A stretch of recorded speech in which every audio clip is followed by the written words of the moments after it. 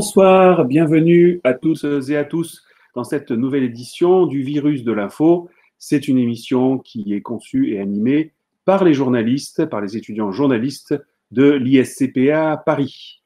En tant que directeur de l'école, je suis euh, très heureux ce soir de présenter les invités qu'ils ont choisis. Euh, nous avons deux personnalités qui sont de fins observateurs du monde politique, euh, social, mais aussi médiatique, avec euh, David Abiker et Pascal Lardelier, qui vont certainement apparaître à l'écran, et qui vont traiter ce soir avec les étudiants journalistes à qui je vais donner la parole, de la question du traitement euh, médiatique de la crise sanitaire que nous avons vécue pendant l'épisode du ou de la Covid-19. Alors je vois que Pascal Lardelier est à l'écran et peut-être que David Abiker va nous rejoindre parce que euh, on, me, signale dans l'oreillette virtuelle que j'ai que euh, on l'a perdu pour l'instant. Pascal Lardelier, bonsoir. Bonsoir, Emmanuel, bonsoir à tous et à toutes. Alors, Pascal Lardelier, professeur à l'Université de Bourgogne. Euh, c'est un observateur, je le disais, des rites sociaux, de tout un tas de phénomènes dans notre vie de tous les jours. C'est l'auteur de près de 30 ouvrages scientifiques ou grand public sur la question. Et donc, ça a été un observateur euh, attentif et privilégié de, la crise sanitaire, de ce qui s'est passé au niveau de la communication. Euh, vous avez été, Pascal, invité dans plusieurs médias pour en parler? Oui.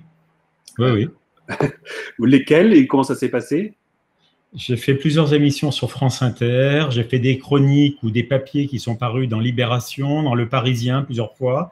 J'ai fait plusieurs émissions sur Radio Notre-Dame. Enfin voilà, donc il y a tout un ensemble de TF1.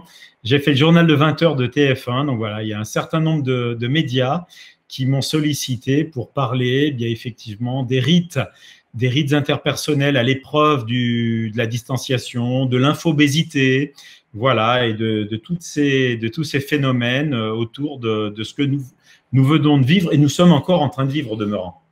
Tout à fait. Alors, je ne sais pas euh, si euh, David Abiker est arrivé euh, ou plutôt revenu, parce que tout à l'heure, on a fait des essais, ça fonctionnait. Il est là, David Abiker. Bonsoir, David Abiker. Est-ce qu'il faut que je tienne mon téléphone comme ça ou vous préférez Ouais, c'est mieux quand tu, restes droit à l'image. Donc, comme tu le faisais dès le début. Ok, bah, je le faisais comme ça. Voilà, c'est très bien. Donc, David Abiker, c'est lui aussi un observateur des médias. on connaît son visage, sa voix, sa plume, puisque il a travaillé à France Info, France Inter, Europe 1. C'est lui qui fait la revue de presse tous les matins sur Radio Classique. On le voit également euh, chroniquer tout un tas de phénomènes sociaux, en particulier sur Canal, mais aussi dans la presse écrite. Donc tous les jours, lui, il a euh, dépouillé ce qu'ont écrit ses confrères journalistes sur la crise sanitaire. Et donc, on va pouvoir, euh, avec lui et Pascal Lardelier, d'ailleurs, vous, vous, connaissez, je crois que vous vous citez mutuellement dans, vos, dans vos travaux? Bah, en, fait, euh, en fait, moi, j'ai, comme je faisais la revue de presse et puis euh, j'ai lu un matin un, très beau papier euh, de, de Monsieur Lardelier qui s'appelait Seul ensemble. Et quand j'ai fait une chronique ensuite, j'ai cité, j'ai cité ce, ce titre et cette formule que je trouvais très belle sur la question des, des usages numériques pendant la crise du Covid entre les familles, les amis qui communiquaient comme ils le pouvaient. Très bien. je vais vous laisser euh, avec le, premier thème, puisqu'on va, on va parler du, traitement médiatique euh, de, cette crise sanitaire. Le premier thème, euh, on va le traiter avec Antoine, Antoine Masset, qui est journaliste, étudiant journaliste à, l'ISCPA en, troisième année. Et Antoine a préparé un sujet sur la communication gouvernementale et aura plein de questions à vous poser ensuite. Bonsoir Antoine, ça va? Bonsoir, bonsoir, ça va très bien. Bonsoir Pascal Ardelier, bonsoir David Abiker. Euh, on est ravis de vous avoir. Ok, on regarde votre sujet et puis après, euh, vous, vous, reprenez l'antenne euh, avec David Abiker et Pascal Lardelier. Nous sommes en guerre. En guerre sanitaire, certes. Nous ne luttons ni contre une armée, ni contre une autre nation. Mais l'ennemi est là, invisible, insaisissable, qui progresse. Et cela requiert notre mobilisation générale nous sommes en guerre. Je veux aussi ce soir saluer la mémoire des soignants qui ont payé de leur vie, leur engagement, pour soigner d'autres vies, sauver d'autres vies. Et vous savez quoi? Moi, je sais pas utiliser un masque. Je pourrais dire, je suis ministre, je me mets un masque. Mais en fait, je sais pas l'utiliser. Parce que l'utilisation d'un masque, ce sont des gestes techniques précis. Il est fondamental que les personnes qui ne sont pas malades, qui ne correspondent pas aux critères retenus et qui ne se sont pas vues indiquer le port d'un masque, n'aillent pas chercher des masques d'une manière ou d'une autre parce qu'ils sont importants pour celles et ceux qui en ont besoin. Nettoyez les surfaces qu'elles auraient pu toucher de manière à protéger votre habitat. Enfin, portez un masque en toutes circonstances lorsque vous devez recevoir du monde. Ces masques donc sont, sont ils sont livrés très régulièrement euh, et les personnels des EHPAD font partie des personnels euh, cibles. Mais vous reconnaissez qu'il en manque soignants dans les hôpitaux. Et le ministre de non, je ne reconnais pas qu'il en manque. Nous avons passé des commandes partout, partout où cela est possible dans le monde. Jamais au cours d'une de ces réunions est évoqué le, le fait qu'on n'a plus de stock stratégique de tous les produits et vous le découvrez en janvier 2020. C'est ce que vous nous dites. À ma connaissance. L'Italie fermera à partir de demain euh, toutes les écoles et les universités jusqu'à mi-mars. Est-ce qu'on peut penser que ça risque d'arriver en France prochainement Non. Et rapidement Non, ça, ça n'est pas ce que nous avons prévu. Nous serions capables de le faire si... Nous serions capables Nous en serions capables, mais c'est pas du tout prévu euh, de, de faire ça. Pour l'instant, ce n'est pas prévu. Pour l'instant, mais même dans, le, même euh, dans tous les scénarios que nous avons. Ah bon? Dès lundi et jusqu'à nouvel ordre, les crèches, les écoles, les collèges, les lycées et les universités seront fermés. Pour commencer, euh, après ces images, on a vu euh, les différentes allocutions du président qui s'est adressé aux Français et les différents euh, malentendus et quiproquos euh, avec le gouvernement et le président. quelles sont vos premières réactions après avoir vu ces, ces images? Qui parle? Ah bah, Comme vous voulez, Pascal. Qui vous voulez lancer? Bah, par exemple, Pascal, vous pouvez commencer. Oui, bah, écoutez, c'est vrai que le principe de, la guerre, c'est une métaphore, hein, la métaphore martiale. Alors, euh, c'est un pari qui se fonde sur l'union sacrée, bien sûr. Euh, par contre, c'est un pari risqué. C'est un pari risqué parce que, euh, comme le dit Emmanuel Macron, il n'y a ni armée adverse, ni nation contre nous. Mais la métaphore, d'abord, elle ravive la question de la mémoire. Et je crois qu'il faut faire attention, quand on n'est pas en guerre précisément, d'invoquer la notion de guerre. Alors bon, est-ce que le terrorisme c'est de la guerre? Est-ce que le Covid c'est de la guerre? Voilà, c'est une question qui se pose. Je pense que le terrorisme islamique, euh, islamiste tel que la France l'a connu depuis quelques années, parce que c'est à bas bruit mais c'est pas terminé, c'est probablement plus une guerre en termes de, métaphore. Euh, ça, a plus de validité que le Covid. Et puis euh, qui dit guerre dit moyen, dit armée, dit stratégie. Et là, et là, je pense que malheureusement pour lui, Emmanuel Macron a été un petit peu dépassé quoi qu'aient pu en dire ses ministres, a été dépassé quand même par les carences, les lacunes, les contradictions. Et je crois que la métaphore de la guerre, la métaphore martiale qui appelait à l'union sacrée, eh bien, elle s'est un petit peu retournée contre lui, euh, contre lui. Puis on se souvient de la mise en scène dans une tente militaire euh, dans l'est de la France, etc. Et je crois que ce sont des choses qui nécessairement, eh bien, euh, ont, leurs limites, ont leurs limites rhétoriques, leurs limites morales, et puis leurs limites stratégiques à certains égards pour vous, c'était pas la bonne posture, euh, la posture martiale n'était pas la bonne posture à, aborder euh, pour cette crise. En tout cas, nos voisins européens, parmi nos voisins européens, certains pays ont dit exactement l'inverse d'Emmanuel Macron, c'est-à-dire nous ne sommes pas en guerre. Nous menons un combat peut-être, c'est un combat sanitaire, euh, épidémiologique, etc. Mais de là à pesamment exhumer cette notion de guerre, ça me semblait quand même un petit peu ambigu. Alors bien évidemment, je le répète, eh bien qui dit guerre dit euh, chef d'État, euh, entrer dans l'histoire avec un grand H, etc. Mais ça me semble un petit peu ambigu quand même et, peut-être un peu surjoué euh, parce que bon, moi je pense aux gens qui ont vraiment fait la guerre en 14-18, en 40 et bien avant ou sur d'autres fronts et c'était pas tout à fait une guerre, je pense quand même. Voilà. D'accord. Et David, peut-être une réaction sur, sur ces images? Une première réaction? Ah. Vous entendez euh, Ouais, je, je, pense que David, tu, tu m'entends là? Oui, je t'entends, mais je vois personne. Ok. Donc, pouvez... Je pense qu'on a, euh, je dis pour Antoine Dubel qui est en réalisation, on a le, on a le phénomène que j'appelle le phénomène mode 8, c'est-à-dire ah. la connexion oui. sur un téléphone portable qui fait que euh, tu entends euh, que un bout des, des questions. Donc, tu as vu le, sujet sur euh, la communication gouvernementale et la question toute simple, c'est euh, est-ce que cette communication était adaptée au plan euh, médiatique pour toi? Bah, Si vous voulez, j'ai deux, deux, façons de. de J'aurais trois, trois, réponses à apporter. Un, elle était inadaptée à la mesure des insatisfactions qui ont plutôt grandi pendant, pendant la crise, avec notamment la communication sur les masques. Vous m'entendez bien? Très bien.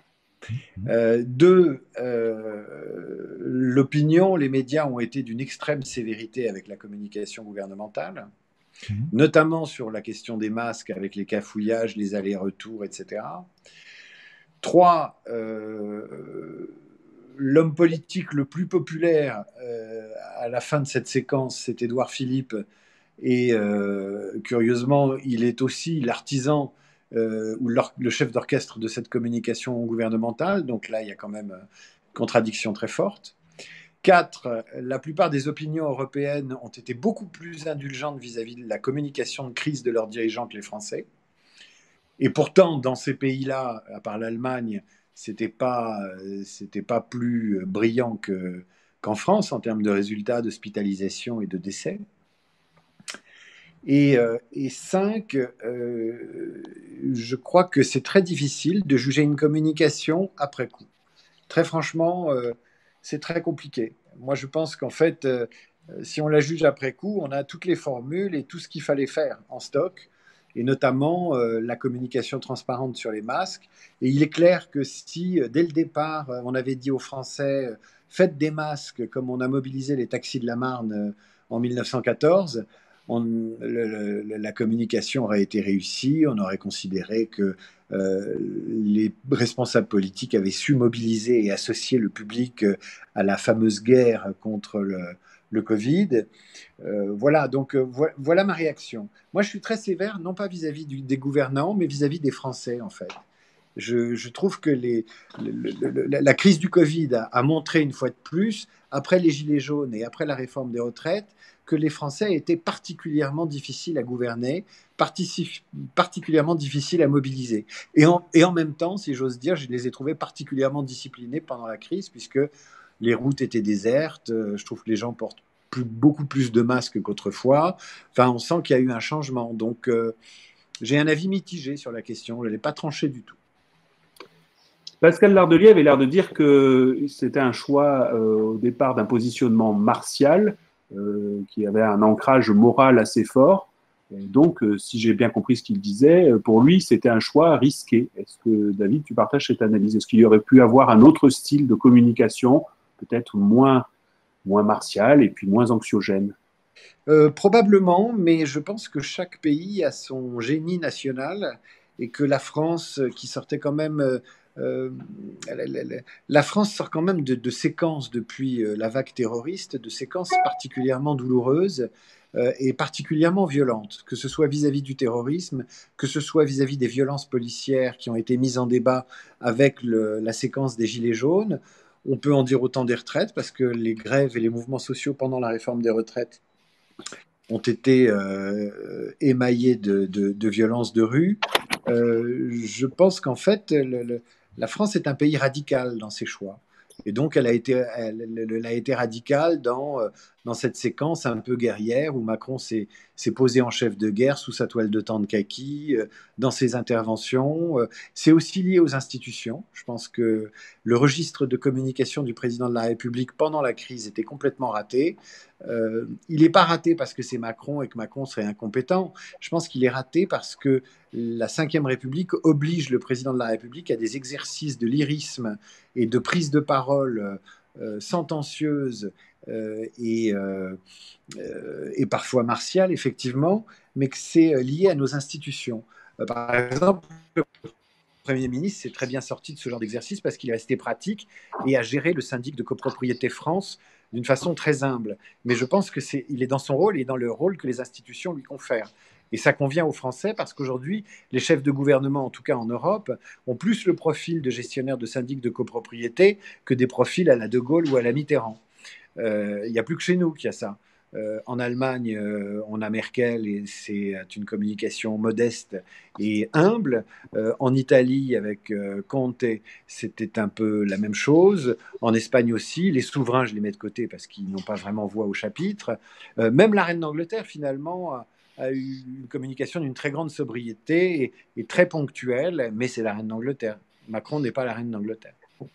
Et donc là, on a, selon vous, on n'a pas été assez indulgent envers le gouvernement. Vous m'entendez? Oui, on t'entend, euh, David, mais il faut que je t'explique simplement que quand Antoine m'a posé une question, manifestement, il faut que moi je fasse le relais euh, parce que c'est la communication sur portable. Euh, tout à, l'heure, mais non, mais tout à l'heure, moi je vous avais tous, hein. je vous avais tous, sauf, sauf le journaliste.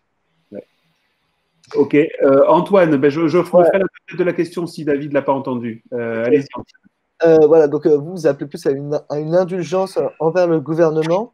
Euh, mais on, a vu qu'il y avait beaucoup de malentendus. Euh, bon, là, je fais référence, par exemple, sur, euh, sur les écoles qui ont fermé, où en laps de temps d'une semaine, on a totalement changé. Ou je pense aussi à Agnès Buzyn qui quitte le ministère de la Santé au début de l'épidémie pour briguer la mairie de Paris et qui, dans les lignes, dans les pages du Monde, critique le gouvernement. Pascal Lardelier, pourquoi est-ce qu'il y a eu autant de malentendus selon vous? Alors, c'est vrai qu'autour de cette crise du Covid. La question est terminée Oui. Euh, alors, en l'occurrence, Antoine l'a redirigé vers Pascal Lardelier. Est-ce que tu entends ce qu'il dit, Pascal Lardelier? Non, j'entends pas ce que dit ah, Pascal. Euh, ok. je peux peut-être me, reconnecter pour entendre au moins ce que dit Pascal Absolument. Absolument. Mais on va laisser Pascal répondre, mais euh, tu vas disparaître et tu reviens, David. Ok, on fait comme ça pour que ce soit plus confortable.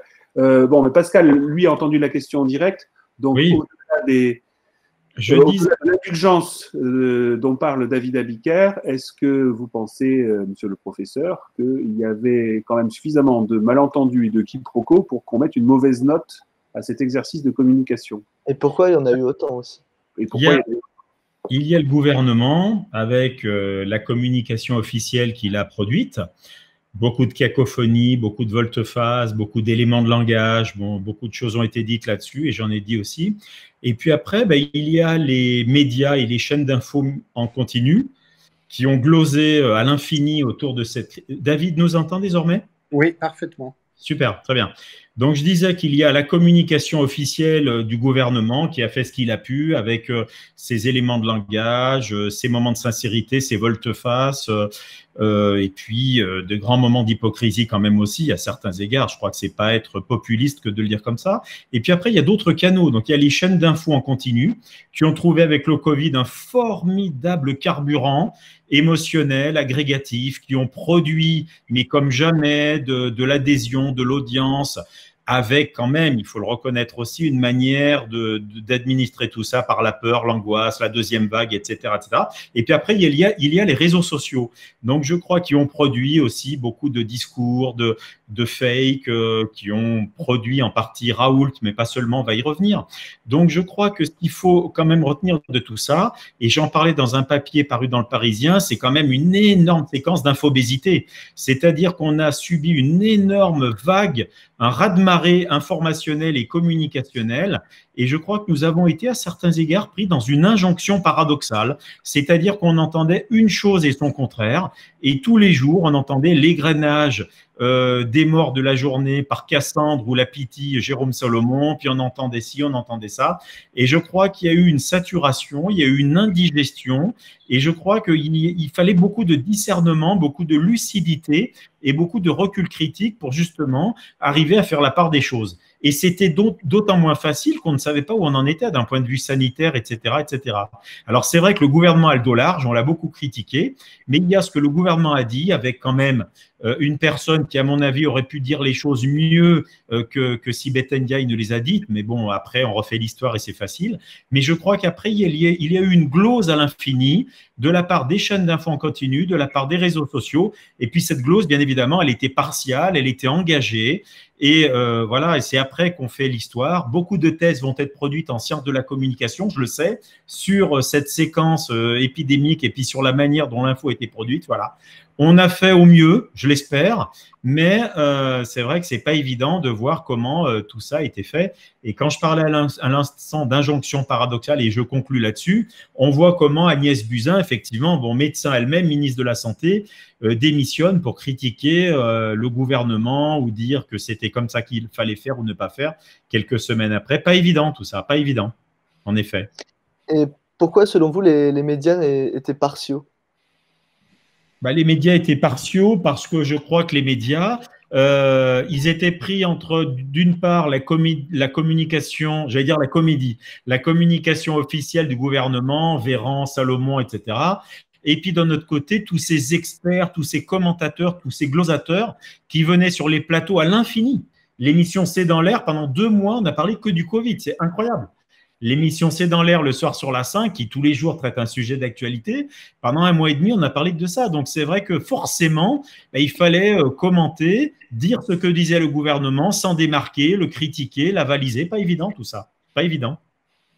On va faire la transition parce qu'il y a eu dans, cet épisode euh, médiatique euh, une figure qui a incarné toutes les contradictions dont on est en train de parler.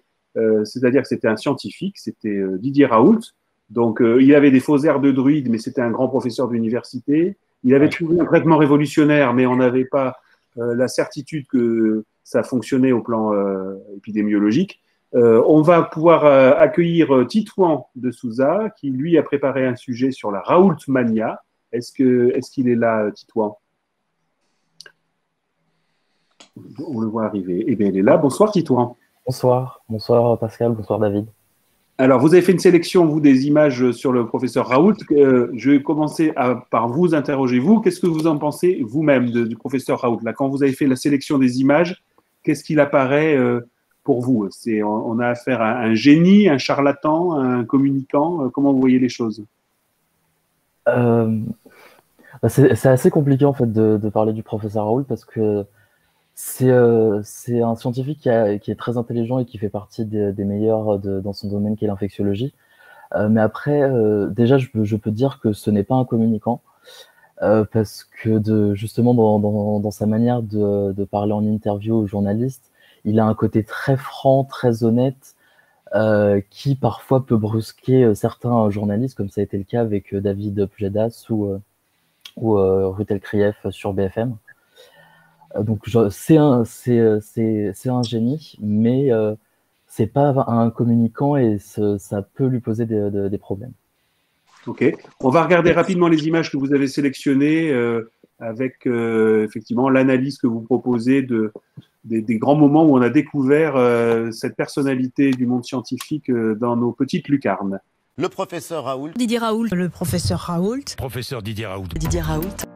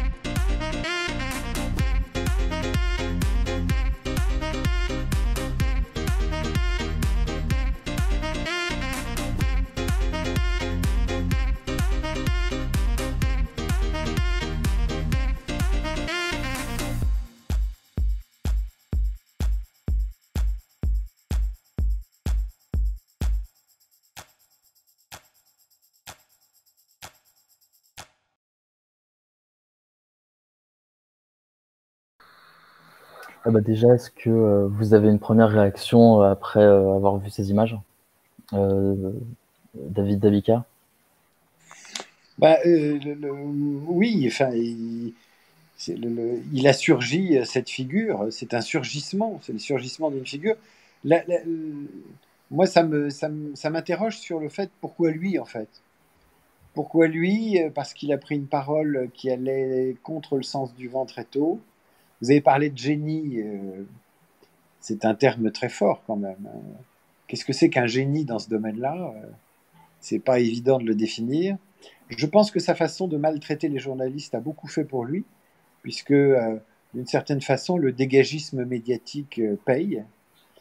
A fortiori quand il vient de quelqu'un qui n'est pas à Paris, qui a les deux mains dans le capot, si j'ose dire, ou dans le cambouis, et qui explique aux gens qui, regardent au-dessus de son épaule et qui jouent les inspecteurs des travaux finis, moi, je fais.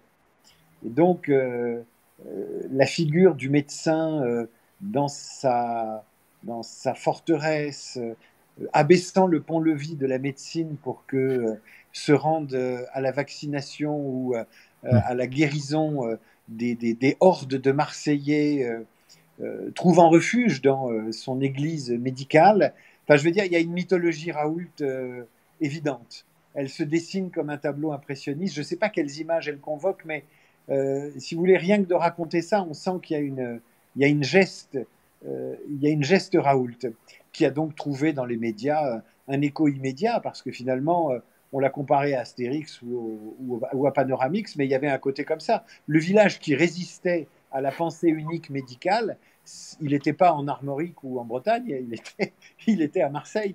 Donc il y a ce- cet aspect-là. Ensuite, je pense que effectivement la dimension euh, euh, anti-médiatique d'un phénomène et d'une bête médiatique, on n'est pas un paradoxe près lui non plus, a beaucoup compté. Il y a un phénomène, moi, que je trouve très positif dans cette histoire, c'est quand même la question de la centralisation euh, en France. Vous m'entendez bien? Oui. La question de la centralisation en France, c'est-à-dire que ces agences, ces agences régionales de santé, euh, cette euh, communication pyramidale, euh, qui a trouvé son paroxysme un peu à la fin de la crise quand on a décidé d'annoncer le déconfinement et que j'ai lu dans le Parisien qu'un maire s'inquiétait de ne pas savoir quel désinfectant utiliser pour sa classe. Je l'ai lu dans le Parisien. Je me suis dit, effectivement, on a besoin de paroles dissidentes. On a besoin d'entendre des gens qui, euh, qui, qui ne sont pas suspendus et agenouillés devant Paris et devant le bureau du président de la République. Et d'ailleurs, la descente de Macron à Marseille a eu ce mérite-là, c'est de dire, bah, il y a des gens qui bossent sur le terrain, je vais les voir, ils ont du talent. euh, voilà. Maintenant, au jour où je vous parle, je ne sais pas si la chloroquine est efficace. Et c'est quand même le cœur du problème. Cette foutue chloroquine, est-ce qu'elle soigne ou pas? Ou est-ce qu'elle a un effet pla- placebo?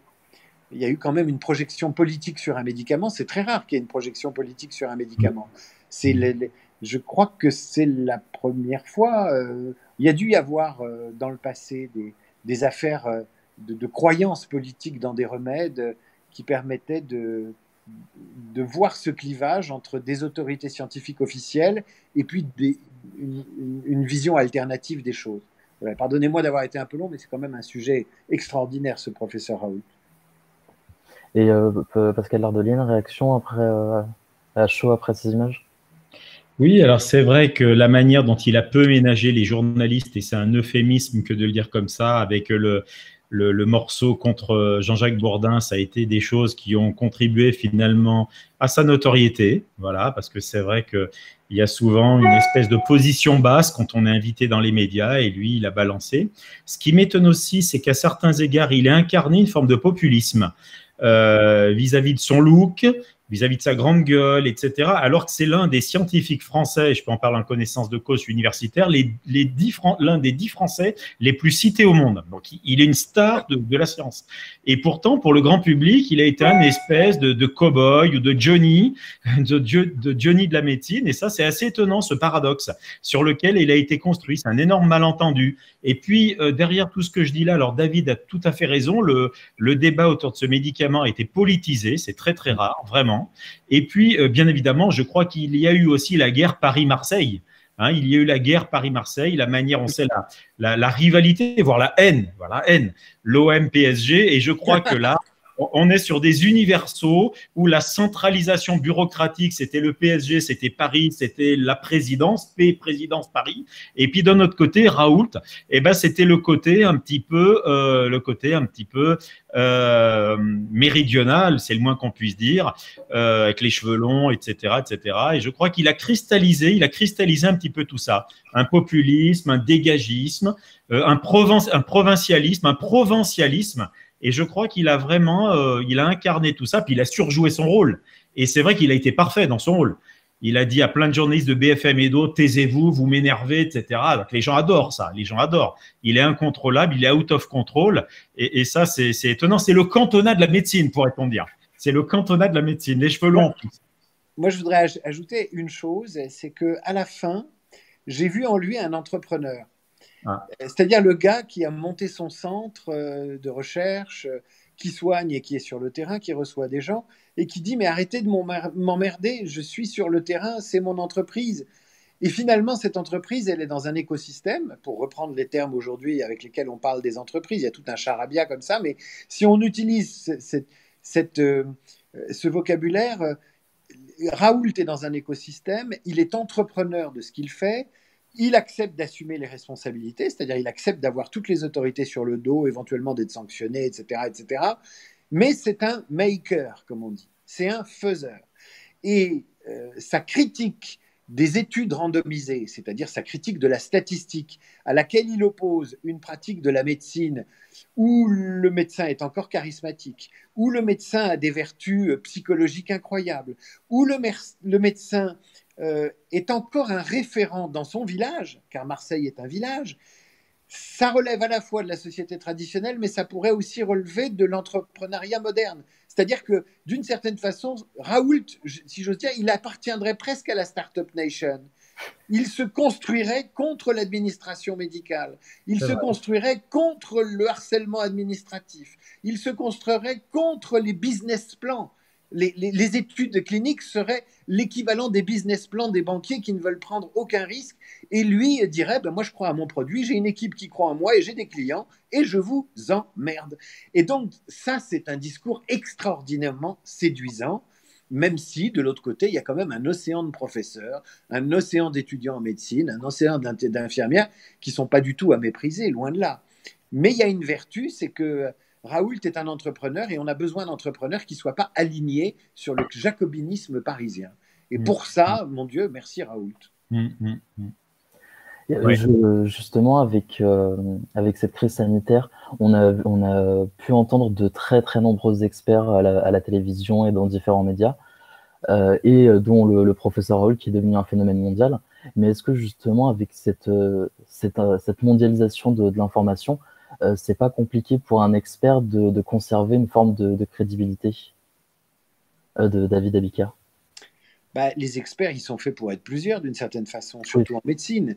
Euh, le mot expert est devenu très péjoratif. Donc, quand on dit voilà des experts à la télévision, on sous-entend en utilisant ce mot que c'est des gens qui sont surtout des bons clients de plateau télé et qui ne savent rien. Et ça, je m'inscris en faux là-dessus parce que euh, quand on est un expert, on doit être à la fois un très bon communicant et en même temps avoir des choses à dire.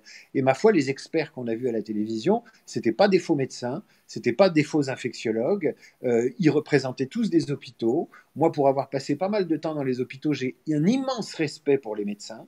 Euh, et donc, ma foi, il vaut mieux avoir beaucoup d'experts, contrairement à ce qu'on dit d'ailleurs. Il ils n'étaient pas tous d'accord. On a entendu des infectiologues de renom expliquer que les choses étaient sous contrôle à l'hôpital. Euh, vous m'entendez toujours? Oui. oui. Oui, Allô, allô? Oui? Oui, oui. Non, si on l'a perdu. Ah oui. Ah, on a perdu David Abiker.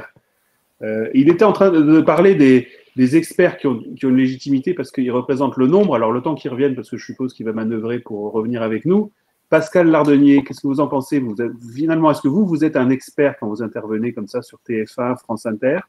Et est-ce que votre parole euh, est guidée par une démarche scientifique ou par l'idée de faire, euh, de participer au, bruit ambiant? Bah, Forcément, on parle dans les médias en tant en tant qu'expert, en tant que scientifique. Euh, on a une parole autorisée et légitime qui est celle du poste et de la science qu'on représente, qu'on incarne. Et puis, bien sûr, on doit simplifier, puis on donne souvent un petit peu à son corps défendant son avis quand même. Alors après, ce qu'on peut constater dans cette crise, hein, et c'est pas nouveau que de le relever, c'est combien les experts ont pris la main sur les commandes finalement euh, de, l'avion politique. Hein, et on a vu combien le comité d'experts a fait un petit peu la pluie et le beau temps et on a vu combien les politiques étaient suspendus aux, avis qui d'ailleurs variaient un petit peu. Hein. Je vous rappelle qu'on ne devait pas partir en vacances cet été mmh. et puis qu'une deuxième vague devait arriver le 15 juin. Voilà, donc c'est vrai que à certains égards, les, les politiques ont confié les clés aux experts ils leur ont confié pour plusieurs raisons, parce qu'il y a une sacralisation de la parole d'expertise, bien évidemment, parole scientifique, etc.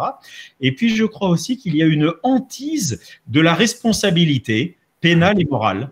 Et c'est vrai que c'est terrible c'est terrible pour les politiques euh, d'endosser et d'assumer une responsabilité avec les conséquences morales et pénales que je viens d'évoquer. J'ai moi-même un copain qui est maire dans une petite ville à côté de Dijon. Et il m'a dit, c'est pour juste donner des masques à ma population, c'est incroyable. C'est-à-dire qu'il fallait passer par l'ARS, par des tas de recommandations, d'accréditation, de tests. Ça montait à Paris, ça redescendait, etc. Et, il me disait que la patate chaude que les gens se refilaient, c'était la patate chaude de la responsabilité. Si quelqu'un attrape le Covid, il va nous attaquer. Et là, il y a la responsabilité morale et pénale que j'évoquais à l'instant. Mais les gens sont attaqués d'ailleurs. Oui, il, les gens. Il y, a, des gens euh, qui sont d'ailleurs très politisés, oui, oui, qui ont euh, euh, enfin, je veux dire, Bruno Gassio euh, a organisé un générateur de plaintes pour s'en prendre à l'État, c'est une attitude absolument immonde. Ce type est un vrai salopard. C'est incroyable de, de, de, de, faire ça. C'est incroyable. et, et, je veux dire, c'est un crachat à la gueule de tous les gens qui prennent des responsabilités, de tout ce qu'on appelle les, chefs d'établissement, et je ne parle même pas des politiques, mais mm. c'est une honte, il y a une démagogie autour de mm. ça, y compris chez les syndicats de médecins ou de soignants affiliés à la, France insoumise, parce que c'est ça aussi. Euh, on a aussi vu dans cette crise à quel point, à quel point les syndicats étaient dans le chantage permanent, embusqués au coin du bois et n'étaient absolument pas dans un rôle constructif et de prendre leur part euh, dans la gestion de crise. Ils préparaient surtout l'après-gestion de crise et, comptaient leur, leur, division. Enfin, je veux dire, euh, le, si on y va et si on donne son avis, moi j'ai été euh, absolument écœuré euh, euh, par, par cette folie de plainte. Ces avocats partis en guerre contre un système qui faisait ce qu'il pouvait. Eh ce qu'il pouvait. et ne parlons pas de, de, la prise en charge du chômage partiel qui a donné lieu à des délires des partis gauchistes sur le fait que l'ultralibéralisme était, nous attendait au coin de la rue. Enfin, des, délires fous, quoi. Fous, fous, fous. Donc, euh, je, reviens à ce que je disais au tout départ, c'est la difficulté de gouverner ce pays, qui était quand même un, pays d'idéologie. Euh, et cette idéologie s'est traduite dans son incapacité à être pragmatique vis-à-vis de la question des masques, vis-à-vis de ce qu'on fait sur le terrain, comment on se prend en charge, etc. J'ai une question pour vous avant qu'on passe à la partie sur l'international. Euh, non, je t'en prie, David. Justement, euh, toi, tu étais observateur euh, pendant plusieurs années du travail des journalistes quand tu chroniquais, par exemple, à Arrêt sur Image, et, depuis, tu l'es tous les matins en lisant toute la presse.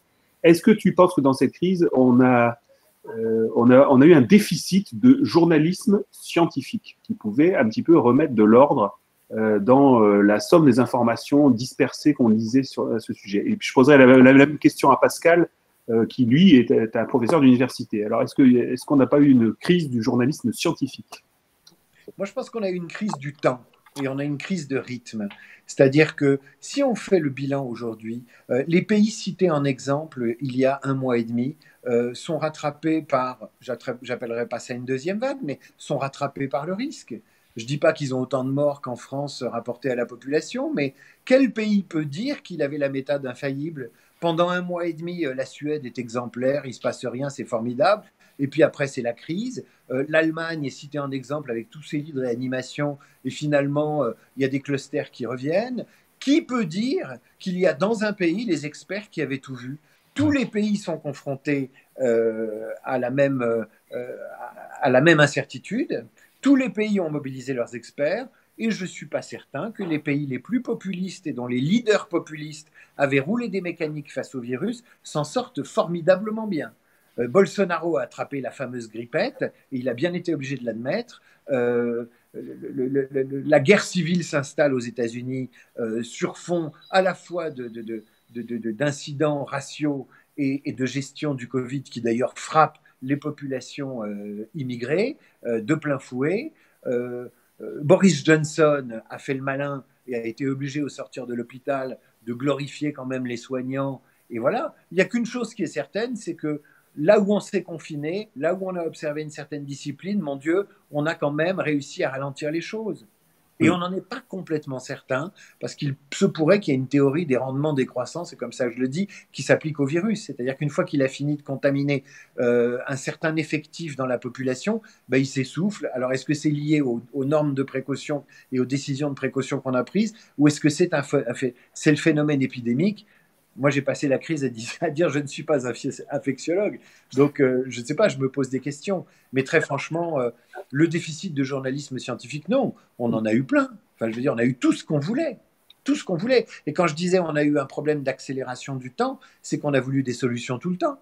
On a voulu des solutions toutes les heures. En même temps, certains, journaux euh, qui, accueillent normalement des articles justement qui ont une, qui ont une valeur scientifique avec des comités qui sont relus par des pairs, etc., des comités de, euh, éditoriaux et ainsi de suite. Euh, Pascal Lardelier, vous êtes professeur à l'Université de Bourgogne, comment c'était possible le, Lancet? Comment c'était possible le Lancet? Je pense que déjà, je me demande, je ne vais pas être complotiste, mais est-ce qu'il n'y avait pas quelque chose de politique en sous-main? Je ne sais pas, mais ça me semble quand même étonnant qu'une enquête comme ça ait été téléguidée, ait été produite avec autant de célérité, ait été reprise par les politiques avec une formidable caisse de résonance médiatique, c'est juste incroyable. Quand, quand, on sait habituellement que la production d'un bon article, c'est entre neuf mois et un an et demi, euh, je, crois, je crois que là, on a hâté le mouvement euh, parce qu'on avait quelque chose à prouver ou à dénigrer. Et ça rejoint ce que disait David tout à l'heure sur la politisation de, de, la médecine dans l'affaire. Hein. Alors, les, dessous de l'affaire, on ne le saura pas. Mais en tout état de cause, c'est vrai que là, donc le Lancet, c'est complètement décrédibilisé. Les revues scientifiques de très très haut niveau traversent une crise profonde, une crise de crédibilité et de légitimité. Et puis, euh, oui, derrière tout ça, il y a quand même, hein, et je suis désolé d'évoquer ça, mais il y a aussi le poids des lobbies pharmaceutiques, il y a le politique, etc. Il y a quand même des enjeux énormes derrière tout ça. Il y a des enjeux sanitaires, bien évidemment, importants et, et en première lecture, mais il y a aussi des enjeux politiques et économiques gigantesques derrière tout ça. Et je crois qu'il ne faut pas les occulter par angélisme. Euh, la science, euh, effectivement, ne vaudrait pas une heure de peine, comme le disait Durkheim, si elle était un jeu intellectuel. La science, elle est produite dans un écosystème politique, économique, et c'est là-dedans qu'elle trouve son sens profond et son utilité. Et je crois que le Lancet s'est décrédibilisé justement parce qu'il a voulu mettre son nom et son prestige au service peut-être euh, d'une cause un peu trop voyante au final. Et Raoult l'a bien vu et l'a bien montré, l'a bien démontré à certains égards. En tout cas, on va passer, on va accueillir, euh, merci Titouan, on va accueillir Juliette Badin euh, qui a elle aussi euh, eu un regard particulier sur cette crise en regardant des variations internationales. Est-ce qu'elle est là, Juliette? Bonsoir Juliette. Bonjour, j'espère que vous m'entendez bien. Oui, on vous entend pour l'instant. Je ne sais pas si David entend toujours. Non, mais je vais me déconnecter, me reconnecter, je ok, bon, maintenant il a, trouvé la méthode. Tu mets, mets un petit peu d'azithromycine, ça va marcher. Alors, Juliette, euh, ben, ça va vous donner l'occasion de présenter le travail que vous avez fait. Vous, vous avez regardé du côté de quel pays et qu'est-ce que vous avez observé, puis on va regarder votre euh, film. Alors, c'est ça, j'ai réalisé une courte vidéo qui retrace euh, brièvement les, différentes stratégies qu'ont adoptées des pays comme le Brésil, la Suède, la Chine et les États-Unis. Et, et, voilà, on va pouvoir comparer ensemble un petit peu ces stratégies de communication réalisées par différents gouvernements donc, euh, je vous laisse regarder euh, la vidéo pour commencer. En Chine, premier foyer de contamination, les mesures gouvernementales pour lutter contre la Covid-19 ont été rapides et drastiques, ce qui a permis une stabilisation de l'épidémie sur le territoire national. D'autres pays touchés plus tard par le virus, comme la Suède, ont préféré adopter une autre stratégie d'endiguement en misant sur la responsabilité de la population et en faisant appliquer des règles de distanciation sociale uniquement. Le gouvernement suédois n'a donc pas jugé nécessaire de confiner les habitants chez eux. Det kommer några få avgörande stunder i livet då du måste göra uppoffringar inte bara för din egen skull. Den dagen är här. Och den uppgiften gäller alla. Côté américain, Donald Trump a favorisé une fermeture des frontières, mais a décidé de ne confiner que les principaux foyers de contamination pour éviter de mettre tout le pays à l'arrêt. Le président a finalement jugé bon d'assouplir rapidement les mesures pour éviter une catastrophe économique. La vie a donc repris son cours aux États-Unis malgré un taux de contamination et un bilan mortel quotidien toujours conséquent. To keep new cases from entering our shores, we will be suspending all travel from Europe to the United States. Finalement, l'épicentre actuel de l'épidémie est en Amérique latine et plus précisément au Brésil avec plus de 1200 morts ces dernières 24 heures sur son territoire. Malgré les conséquences humaines importantes, le président Jair Bolsonaro semble minimiser la crise et la considère comme économique avant tout. Certaines régions du pays ont donc elles-mêmes décidé de se confiner pour réduire les dégâts. Ele está fazendo descaso com a gente, com o povo. Ele não entendeu a gravidade do problema. Acho que quando usa piadas para diante de uma situação tão séria, como que uma pessoa pode estar governando assim? Euh, après la vidéo qu'on a pu voir, est-ce que pour vous, parmi les quatre euh, exemples de pays, il y a une meilleure manière d'aborder euh, le sujet auprès des populations, une meilleure manière de communiquer à propos du coronavirus Voilà, entre le modèle chinois, le modèle suédois qui sont radicalement différents? Pour vous, est-ce qu'il y en a un préférable à d'autres? Alors Pascal, pour commencer peut-être? Ben, comme le disait David pour ouvrir l'émission, c'est facile après coup de dire voilà ce qu'il fallait faire, on savait, bien évidemment. Et je crois que nos dirigeants, enfin beaucoup de dirigeants, ont été pris dans des postures euh, lyriques. Euh, oui, oui, lyrique, la guerre, etc. Et, je crois à posteriori, puis je crois que si je faisais pour eux du conseil en communication, je leur dirais que deux systèmes, deux, deux, deux valeurs auraient dû prévaloir la modestie et le pragmatisme. La modestie, c'est quand à l'heure actuelle, on ne sait pas tout on ne sait pas tout sur le virus, on recherche, le pays est mobilisé, les savants, les labos sont mobilisés, mais on ne sait pas tout. Plutôt que de dire on sait, puis dire le lendemain, ben non, c'était pas ça. Et puis le pragmatisme, hein, le pragmatisme, restez chez vous, etc. Voilà quelles sont les barrières. On peut pas avoir une porte-parole du gouvernement qui dit ne, ne mettez pas de masque, je ne sais pas mettre un masque, et qui 15 jours après voit un ministre de la Santé dire il faut des masques partout tout le temps. Donc je crois que modestie ou humilité pragmatiste devrait prévaloir, mais ça on le sait après coup. Et c'est vrai que la tentation du lyrisme, du millénarisme, de la minimisation des enjeux, bah, c'est quelque chose qu'on a vu à l'œuvre dans les uns ou les autres pays. Après, ça dépend aussi de la culture du pays. On peut être quand même un tout petit peu plus directif en Chine, me semble-t-il, eu égard à l'histoire et aux traditions de ce pays-là qu'en Suède, par exemple, euh, basé sur le consensus, la responsabilité individuelle, etc. Et il ne faut pas oublier cela, c'est que chaque gouvernant a fait selon la tradition politique du pays et la culture, la culture politique du pays. Et ça, c'est fondamental, il faut le prendre en compte, bien évidemment. On peut être aussi euh, tenté de juger la communication avec des chiffres. C'est-à-dire, on peut très bien se dire, bon, ben, finalement, eux, ils ont eu très peu de morts et donc ils ont bien communiqué. Euh, eux, ils ont beaucoup de morts et ils sont, ici sont, pris comme des manches. Oui. Je suis d'accord, moi, avec euh, ce que dit Pascal quand il dit ça dépend de la culture politique du pays. C'est-à-dire mmh. que qu'on parle de politique familiale en Chine, qu'on y parle de, de, politique économique ou de politique de santé, euh, on y parle parce qu'on y parle d'une certaine façon parce qu'on est en Chine. C'est pas le c'est pas le virus dans son universalité qui va infléchir la manière dont les autorités parlent à leur peuple. Je pense que euh, chaque culture de gouvernement, chaque culture politique, chaque société, il y a encore des différences et donc on s'adresse pas euh, aux Chinois comme on s'adresse aux Français, comme on s'adresse aux, Brésiliens. Ensuite, il y a le tempérament politique. Mais euh, on a bien vu d'ailleurs que les pays qui s'étaient dotés de gouvernants qui jouaient sur la corde populiste, il y avait une forme de, d'insolence face au virus, une forme de, négligence, de, de, coup de menton pour dire mais qu'est-ce que c'est que cette grippette? Johnson disait qu'il serrait des mains à tout le monde et il en avait fait un sujet de plaisanterie. Euh, le, le, le, Bolsonaro n'a eu que mépris pour la, pour la fameuse grippe euh, et même après l'avoir attrapée, euh, il n'a pas l'air particulièrement ébranlé plus que ça. L'ami L'ami Trump, c'est pareil, même s'il prend de la chloroquine à titre préventif. Donc, le, le, les, populismes ont géré cette crise de façon populiste. Ça, c'est très, euh, c'est très clair. Pour la Chine, évidemment, euh, c'est un, phénomène très, euh, très particulier. Je pense quand même, moi, ce à quoi j'ai été sensible, en tout cas dans mon pays, c'est quand mon Premier ministre nous a dit une fois je ne sais pas, et, euh, et il a eu une autre phrase à un autre moment en disant que euh, le, le, renoncement ne fait pas partie des sentiments que je m'autorise. Je crois que ces deux phrases-là ont fait beaucoup pour Édouard Philippe. Je ne sais pas, on verra, euh, euh, et, il faut résister. S'il y avait une figure universelle du dirigeant face à l'adversité, je crois qu'on en revient toujours à Winston Churchill.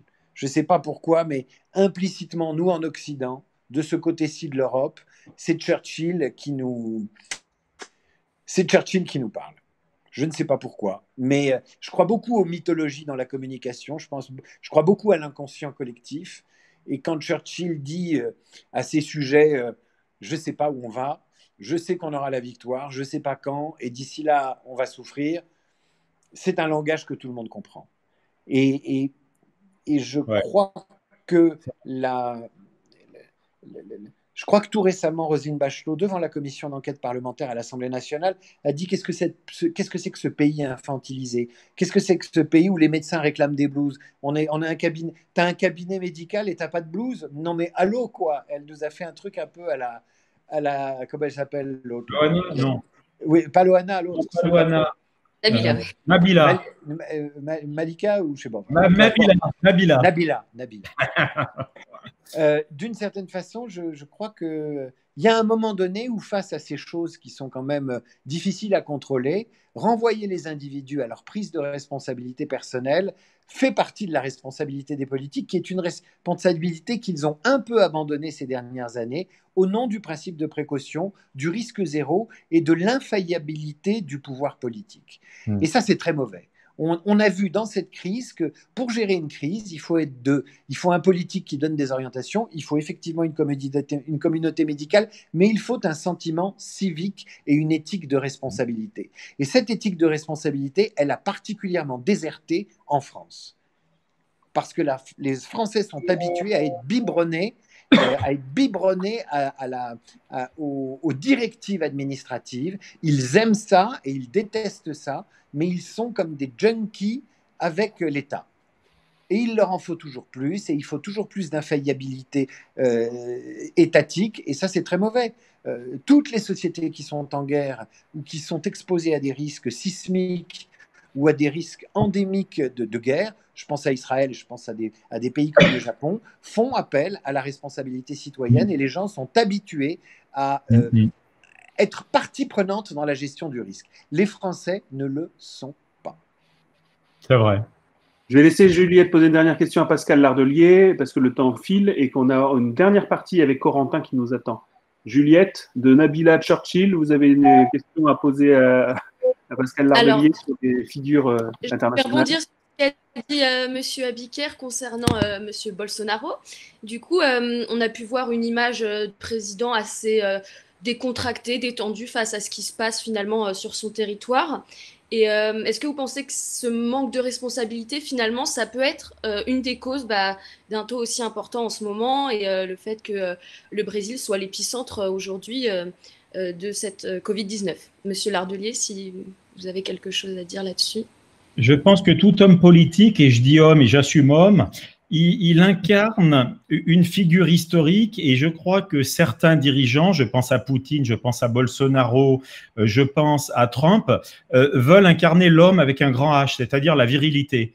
Et la virilité, bah, c'est l'homme qui va être un peu trompe-la-mort, qui va être un peu bravage face à l'adversité et au danger. Et je crois que certains ont surjoué ce rôle-là. Alors de Boris Johnson justement à Trump, ils ont surjoué euh, cet homme d'État qui finalement, dans l'imaginaire du cow-boy, eh bien, euh, il a peur de rien et pas du virus. Et bien évidemment, euh, le retour du réel, pour parler en psychologue ou en psychanalyste, bah, c'est que le virus, il a atteint et Bolsonaro et, et, et Boris Johnson pour le coup. Hein. Mais je crois que là, ils ont été happés par des vêtements un petit peu trop grands pour eux, qui était celui bah, de l'homme invincible, en fait, de l'homme d'État invincible. N'est pas Churchill qui veut à certains égards. Hein. Et c'est clair que, que là, le, le, le retour de flamme a été terrible pour eux. Pour certains, je pense à Bolsonaro ou à Johnson. Merci Juliette pour votre sujet. Vous analysez Merci. À, très vite. Euh, C'était la figure féminine de, parmi nos étudiants euh, journalistes. Euh, C'est pas tout à fait vrai parce que Lisa Domergue a également travaillé avec Corentin Alonso, qui va apparaître à l'écran, euh, sur le sujet, sur l'ère d'après, mais euh, elle, est, elle, est, en stage et elle n'a pas pu se, se, connecter avec nous ce soir. Corentin, comment allez-vous? Très bien, Emmanuel. Bonsoir à tous. Bonsoir David. Bonsoir euh, Pascal. Alors, vous, vous nous racontez, vous avez, vous avez réfléchi à, à l'ère d'après. C'est bien ça, Pendant le confinement, le concept d'ère d'après ou monde d'après est apparu dans les médias comme si euh, cette crise allait marquer obligatoirement une rupture.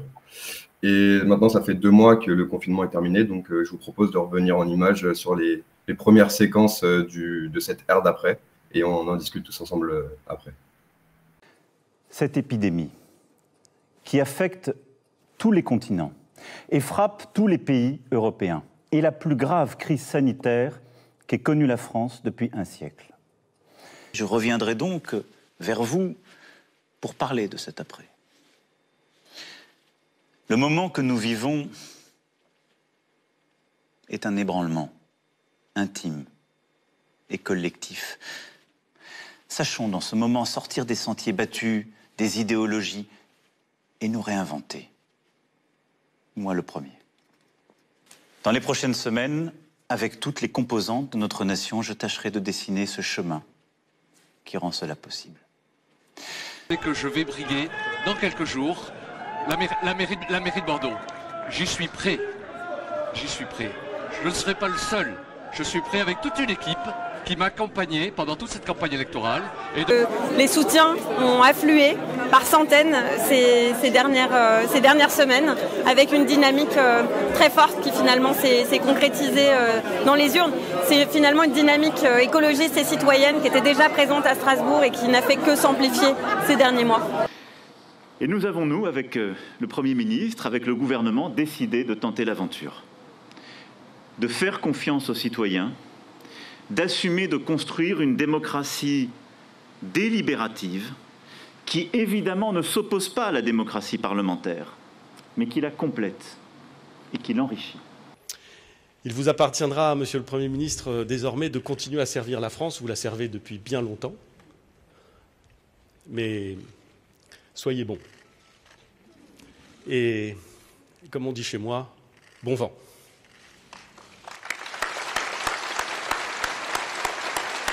Donc voilà, donc premièrement, je voulais vous poser une question très simple. Euh, Qu'est-ce que vous pensez de ce concept d'air d'après qui, est, qui est apparu pendant la crise? Bah, C'est vrai qu'il y a... Vous me parlez à moi? Oui, Pascal, s'il vous plaît.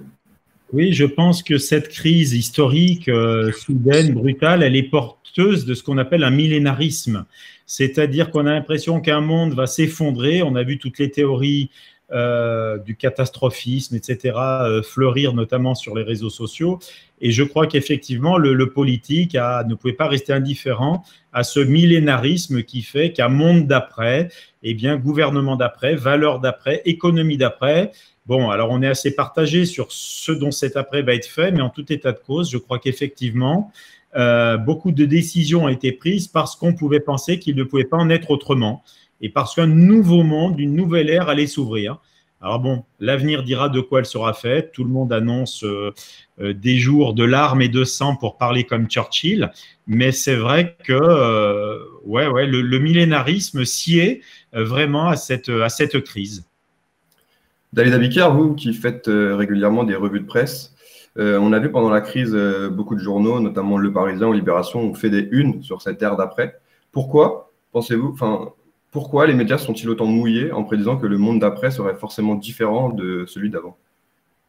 Euh, ils se sont mouillés parce que les gens se mouillent en général. Quand quelqu'un traverse une crise, il dit toujours après. Euh, quand vous avez un chagrin d'amour, euh, vos parents, ils vous disent tu verras après une de perdue, dix de retrouvée. Quand vous êtes malade, on vous dit tu verras quand tu seras convalescent et quand tu iras mieux, tu pourras partir en vacances. Donc je pense que l'invention du monde d'après, elle est toujours liée à une, une volonté de s'en sortir en fait et d'imaginer, de ne pas mourir en fait. Euh, c'est quand même dans le, c'est le sens de la, la nature humaine de d'imaginer qu'il y aura une résilience et qu'il y aura, il y aura autre chose après. Alors ouais. ensuite, euh, chaque culture avec sa, chaque culture a sa dose de culpabilité judéo-chrétienne. Euh, en tout cas en, Europe. Et donc, il y a aussi cette dimension pampan-cucu. C'est-à-dire que là, on a souffert, on ne peut pas s'empêcher, nous, notamment dans les pays de tradition catholique, de tradition catholique sécularisée, c'est-à-dire où le catholicisme n'est plus pratiqué, il a été remplacé par autre chose, de considérer que nous allons expier la faute.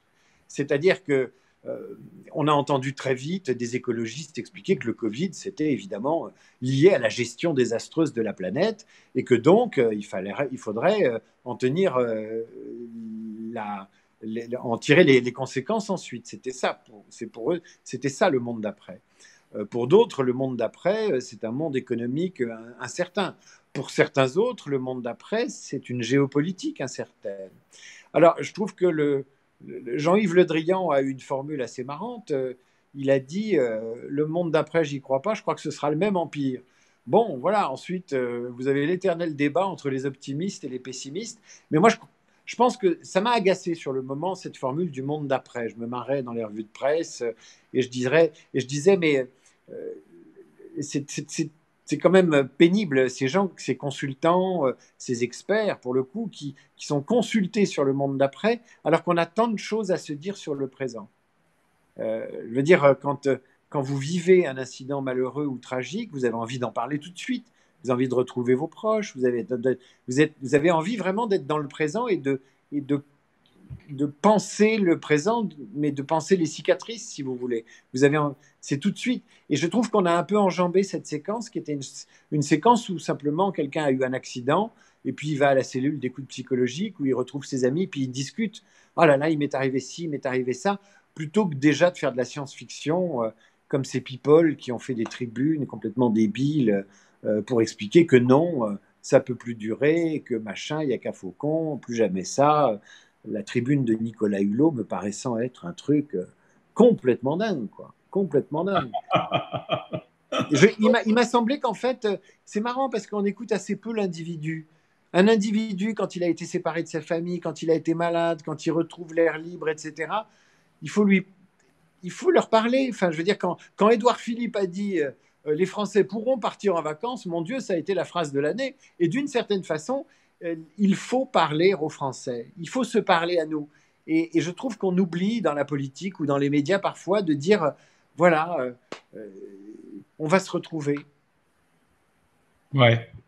On va se retrouver. Déjà, c'est pas mal déjà de, pouvoir être, de pouvoir régler le thermostat à l'aune du sentiment collectif plutôt que d'être dans la science-fiction euh, immédiatement, tout en disant le travail va disparaître, on va travailler chez soi, et, voilà. Bon, ça, c'est des trucs, euh, c'est des trucs. Euh, les projections disent nos pathologies aussi, disent nos angoisses. Sur le plan politique, ceux qui ont tiré profit de cette ère d'après, euh, dans un premier temps, ce sont les écologistes qui ont remporté les élections municipales. L'expression vague verte a été utilisée de manière récurrente dans les médias pour analyser euh, cette victoire. Pascal Lardelier, l'écologie semble aujourd'hui s'imposer dans l'opinion française. Dans quelle mesure l'expérience du confinement a-t-elle pu euh, accélérer cette tendance? Bah, c'est vrai qu'on a quand même, par la force des choses, été dans la déconsommation, la décroissance obligée, le frugalisme, le ruralisme. Donc c'est vrai que ce sont des valeurs qui nous ont été imposées. Bon, pas à tout le monde, hein, parce que tout ça, c'est c'est distribué de manière inégale d'un point de vue socio-culturel et socio-économique, il faut quand même le dire. Tout le monde n'a pas eu la chance d'être confiné dans des conditions champêtres, agréables, à lire Proust et à écouter Brahms comme notre président nous y invitait. Hein, donc déjà, il y a cet aspect-là. Et puis oui, c'est une tendance, euh, euh, cette espèce de Greta euh, Grunbergisation de la société, c'est une tendance de fond. Alors il y a quand même un trompe-l'œil sur la dernière élection. Parce que là où les maires écologistes ont été élus, c'était des villes avec un très haut niveau d'études, etc., etc. Et puis, il faut bien évidemment prendre en compte l'abstention record aussi. Hein. Donc, c'est vrai que d'ailleurs, les écologistes n'ont pas été nommés dans les campagnes. C'est un paradoxe, ils ont été nommés dans des villes, et notamment dans des grandes villes, Strasbourg, Grenoble, Lyon, etc. Donc voilà, je pense que euh, on a fait l'épreuve durant le confinement, on a fait l'épreuve ou l'expérience, selon, ou l'épreuve et l'expérience, effectivement, d'une déconsommation, d'une décroissance. Tout le monde s'est interrogé sur la manière dont il consommait et peut-être que ça a amené effectivement une espèce de prise de conscience. Mais j'y verrai pas un lien direct entre l'élection de certains maires et puis euh, c'est une tendance plus, plus profonde et plus ancienne, bien sûr. Peut-être accélérée, certes. Et David Abigard, que pensez-vous de l'expression euh, vague verte utilisée pour caractériser euh, la victoire des écologistes? Bah, je suis, d'accord avec Pascal quand il dit que c'est beaucoup plus profond que ça et qu'en fait, euh, la fameuse vague verte a pu être assimilée par beaucoup d'électeurs, notamment urbains, par vote utile. C'est-à-dire que et ça engage les écologistes, parce que les écologistes sont un parti avec des militants et des cadres fous, euh, et qui ont l'habitude de se déchirer et de déchiqueter leur leader euh, à cause euh, d'une vocation trotskiste très forte.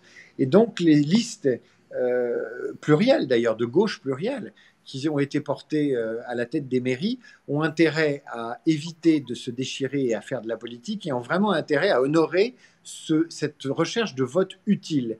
Parce que beaucoup de bobos et d'urbains et de citadins qui sont à la recherche d'un meilleur cadre de vie ils comptent sur les écologistes pour améliorer le cadre de vie. Et donc, ils se disent, les écologistes, ils sont verts, c'est des gens qui savent bricoler, ils savent mettre un peu de bois, ils savent mettre un peu de pistes cyclables, euh, ils sont proches des gens, alors on peut peut-être tenter le coup de voter pour eux parce que peut-être qu'ils vont nous bricoler une ville plus vivable. C'est ça la demande. C'est ça la demande sociétale. C'est pas une demande d'extrême gauche de plus, et c'est certainement pas une demande de, de leçons de morale comme la gauche, c'est les administrés. Si les écologistes répondent à cette demande, c'est formidable. Mais la vague verte cache une autre chose, c'est l'extraordinaire résistance du socialisme municipal. Vous avez la moitié des villes moyennes et des grandes villes qui sont restées socialistes, alors qu'on promettait il y a deux ans la disparition du socialisme. Et en fait, la gauche plurielle inventée par Lionel Jospin, eh ben, elle a fait ses preuves dans cette élection municipale. Il y a beaucoup de listes qui ressemblent à la gauche plurielle et qui sont emmenées par des candidats de gauche ou des socialistes et pas nécessairement des, euh, euh, euh, des, écologistes. Ensuite, je dirais que en fait, le Covid-19, ça a été un accélérateur politique pour beaucoup de choses. Il a accéléré évidemment la xénophobie. Tous les partis xénophobes peuvent remercier le Covid-19. Il a accéléré les partis souverainistes on dit on va fabriquer nos médicaments chez nous. Les, meilleurs, euh, meilleurs meetings de souverainisme n'auraient pas obtenu ce résultat. Euh, le Covid-19 est geek par excellence. Il a, il a fait accélérer le parti des geeks avec euh, la dématérialisation du travail, les Zoom conférences et tous ces trucs-là. Le numérique, vive le numérique. Le Covid-19 a accéléré ça. Le Covid-19 a accéléré évidemment la prise de conscience d'un meilleur cadre de vie, de respirer, d'une planète plus saine, euh, et donc avec une confusion extrême entre sanitaire et écologique. Mais bon, ça a profité aux écologistes. Euh, donc le, Covid est un, c'est le Viagra de certains programmes politiques. C'est de la vitamine. Ça a fait, euh, ça a fait avancer certaines causes comme jamais. et même pour les gens qui voulaient plus de contrôle continu dans les examens nationaux français, ils ont été absolument servis parce que le Covid leur a euh, donné un PEPS pas possible. Le bac n'est plus que contrôle continu. Donc je dis ça sous forme de boutade, mais d'une certaine façon, le Covid euh, a provoqué des accélérations sociétales importantes. Et pour la droite managériale ou pour la droite gestionnaire, euh, moins de normes, en tout cas pendant un certain temps, plus de, de, management facile, de management simple, plus de dépassement des process et des normes, ma foi, tout le monde est content euh, avec le Covid, tout le monde est servi d'une certaine façon. Corentin, si je peux me permettre de poser une question à, Pascal Lardelier, parce que Pascal Lardelier est, euh, anthropologue. Donc moi, j'aimerais avoir son point de vue euh, sur, sur nos, rituels sociaux. Est-ce qu'il y, aura, est y aura un avant et un après Covid dans la façon de nous comporter entre nous? Ben, c'est vrai que le Covid a été aux relations interpersonnelles ce que le sida était à l'amour dans les années 80, c'est-à-dire la perte de l'insouciance. Déjà, c'est vrai que soudain, autrui est porteur d'un danger, possiblement d'un danger mortel. Alors, bien évidemment, gestes barrières, distanciation euh, sont des mots déjà d'une grande violence symbolique et ils sont attentatoires à l'ordre de l'interaction. Qui, au début du confinement, n'a pas tendu la main pour la retirer aussitôt? Ah non, on n'a plus le droit. Hein, on, a tous, on a tous fait ça. Et c'est vrai que être en société et pas être seulement seul ensemble, eh bien, c'est se faire la bise, se serrer la main, s'étreindre. Et c'est vrai que euh, cet ensemble de rites, de pratiques euh, qui font qu'il y a un caractère charnel au lien social, eh bien, ça, c'est mis en suspens, c'est mis à distance, c'est le cas de le dire. Alors, il y a deux solutions maintenant. Soit le virus s'éteint, soit le virus s'étend. S'il s'éteint, eh bien, je crois que tout doucement, mais avec précaution, les rites d'antan, la bise et la poignée de main vont revenir en odeur de sainteté, mais avec quand même une, euh, une mesure qui n'était pas celle que nous avions auparavant. Et puis, soit le virus s'étend, et dans ce cas-là, effectivement, eh bien, nous serons amenés à vivre à bonne distance et à généraliser, à sédentariser, eh bien, euh, distance, masque, geste, geste barrière, etc., gel, Hein, et puis, eh ben, euh, petite analyse euh, anthropologique pour finir. Euh, alors, deux d'abord. Ben, c'est vrai que l'origine de la poignée de main, c'était montrer qu'on n'a pas d'arme blanche dans sa main. Hein, c'était ça l'origine de la poignée de main. On ouvrait la main pour montrer qu'on n'avait rien ni dans la manche ni dans la main. Et on ne se sert plus la main parce qu'une arme invisible y est peut-être cachée, le virus. Et puis le gel. Eh bien, le pur et l'impur, c'est une catégorie anthropologique fondamentale. Regardez les religions qui passent leur temps à purifier l'alimentation et à fuir ce qui est impur, eh bien, regardez le gel, qui à l'entrée de tous les magasins et de tous les espaces publics est un nouveau rite d'ablution et une nouvelle manière de purifier l'entrée dans un lieu public. Et je crois qu'effectivement, chasser, euh, chasser le, symbolique par la porte, il revient par la fenêtre. Ça, fait une très belle conclusion, Corentin, vous êtes d'accord? Oui, tout à fait. Euh, ok, ben, en tout cas, c'était un pur, euh, en, deux mots, hein, moment de bonheur et de stimulation intellectuelle que de, vous entendre, Pascal Lardelier, David Abiker. Euh, c'est vrai que c'est une émission de l'ère d'après, puisque euh, on a l'habitude de vous inviter à venir euh, dans nos amphis, faire des masterclass ou travailler avec nous. là, on le fait sous cette forme interactive en streaming, mais j'espère que si la prophétie de Pascal Lardelier se précise sur l'extinction du Covid et le retour à, à, des gestes un peu plus chaleureux, eh ben, on aura vraiment beaucoup de plaisir à vous revoir euh, chez nous sur notre campus euh, pour euh, d'autres conférences, d'autres échanges avec nos étudiants. Un grand merci à tous les jeunes. Je fais aussi un petit clin d'œil à Antoine Dubel qui a réalisé cette émission depuis chez lui avec, comme d'habitude, coucou Antoine, la, console qui a eu donc des sueurs froides quand il a vu disparaître les uns et les autres à l'image. David qui partait et qui revenait. Mais... Il est là, David. Ça. Merci, merci Antoine pour cette euh, réalisation euh, haute, en couleur. Un grand merci aux jeunes et un grand merci à Pascal Lardelier et David Abiker euh, pour leurs explications et leurs analyses. à bientôt. Au revoir et merci beaucoup à tous.